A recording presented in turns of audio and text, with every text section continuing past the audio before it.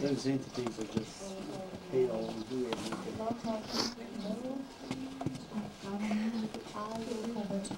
I still say that. Avalokiteshvara. Look at this painting. That's held up pretty well. Avalokish.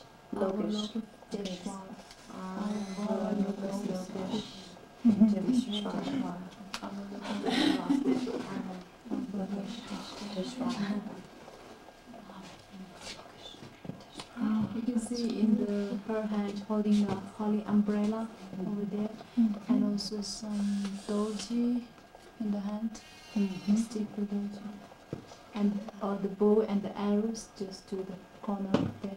Bow and arrows. It's also the holy instruments were carried hold by the protectors. I think this stage one is this statue is the one of that uh, Kala chakra, you know. Kala chakra means the wheel of the time. And there's the wheel of the time. There's some statues like this, a female deity. this one is female deity. Somebody sweet. Yeah. Avalokiteshvara. And also around here you can see some white Tara, green Tara, and uh, Manjushri, God of Wisdom. And the same is also behind the statue on the wall. This is the same. And also this is the. And below all are the. This one is our Tibetan character, capital letter, and below big one letter is Sanskrit. Ah. This one is Tibetan capital letter and Right, how close are they? And no, they're completely different. Yeah, completely very different. different. yeah. Mm. Our first Tibetan letter comes from Sanskrit. Ah. When you look, it looks like the same or like that, but it's different. Once during the king, 28th king called Nyingma, it was place called a Zetang. You know, Zetang is our Tibetan first developed, human being developed. It's like that. In that place, Zetang, Zetang means a playground. Mm. As they say, first our Tibetan human beings are monkeys.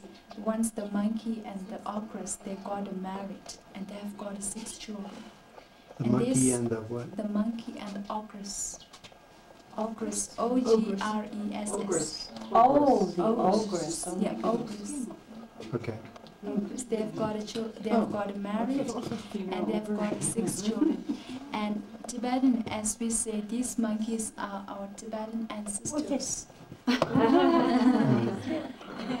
that is the in Zetang, just close to the airport road. Airport. So year- over there is one our Tibetan first king also developed, where the first Tibetan palace is called a Yumbulhaga. Our mm-hmm. first Tibetan king is called a Nyatri Tsenpo. As they say, he was come from the Himalayas. So he just sitting around near the mountain, and some shepherd going around the mountain to look after the sheep and goat. And they saw the one man is sitting near the mountain, and they are asking to them where you are from. He didn't talk. He didn't say something. He just put on a sky.